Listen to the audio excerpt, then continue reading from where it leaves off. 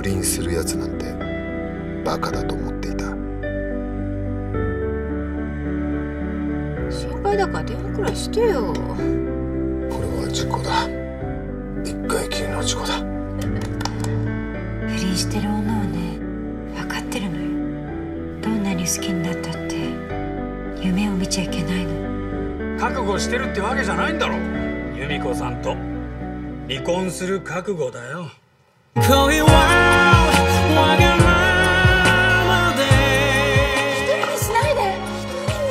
よこんなところで。15年前心に深い傷を負わせた。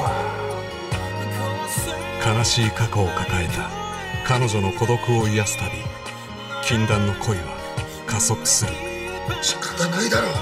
君のことを好きになってしまったんだから。その夜が明けた時この恋は誰も想像しなかった。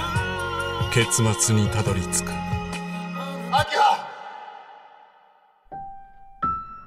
夜明けの街で。